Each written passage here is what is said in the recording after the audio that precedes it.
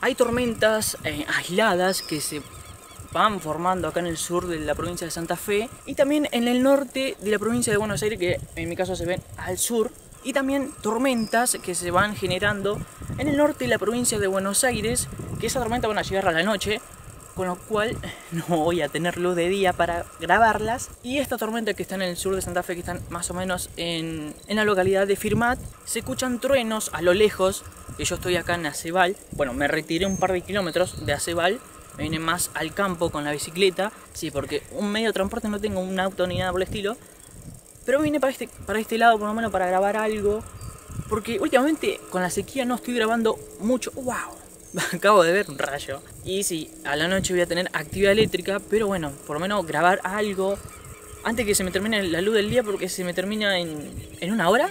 Aunque no tengo tanto para filmar, pero bueno.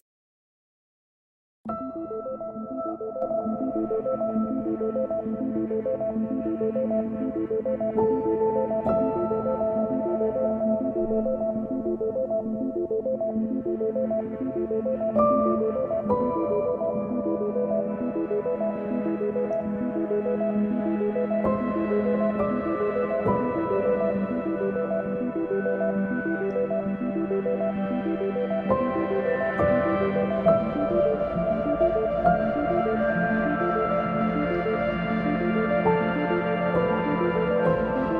de paso, eh, quiero agradecer porque llegamos a los 4.000 suscriptores.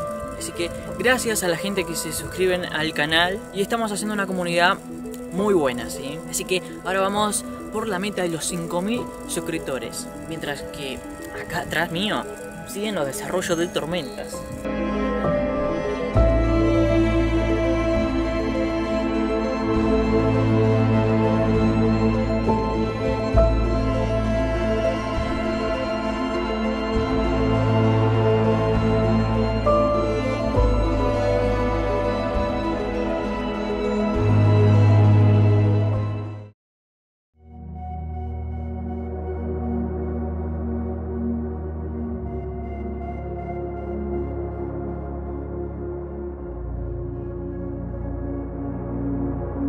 Ahora mismo hay tormentas que se están generando acá en el sur de la provincia de Santa Fe, también en el norte de la provincia de Buenos Aires y el sudeste de la provincia de Córdoba. Que ahora mismo hay tormentas aisladas, hay también eh, desarrollos convectivos. Mirando para el lado de Entre Río también se ven eh, cumulonimbus. Estas son las tormentas que yo le estoy hablando, que vienen del sudeste de la provincia de Córdoba y el sur de Santa Fe. También el norte de Buenos Aires, nada más que este radar llega hasta ahí, es el radar de Paraná. Este es el radar de pergamino, que es así, se alcanza a ver eh, los desarrollos de tormentas en el norte de la provincia de Buenos Aires. Están muy lejos, yo estoy a unos 40 kilómetros de Rosario, para que se ubiquen.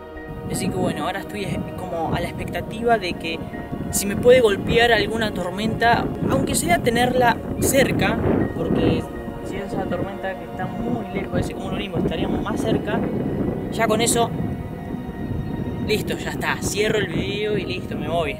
Pero no, todavía no hay mucho como para grabar, así que creo que me voy a quedar toda la tarde acá.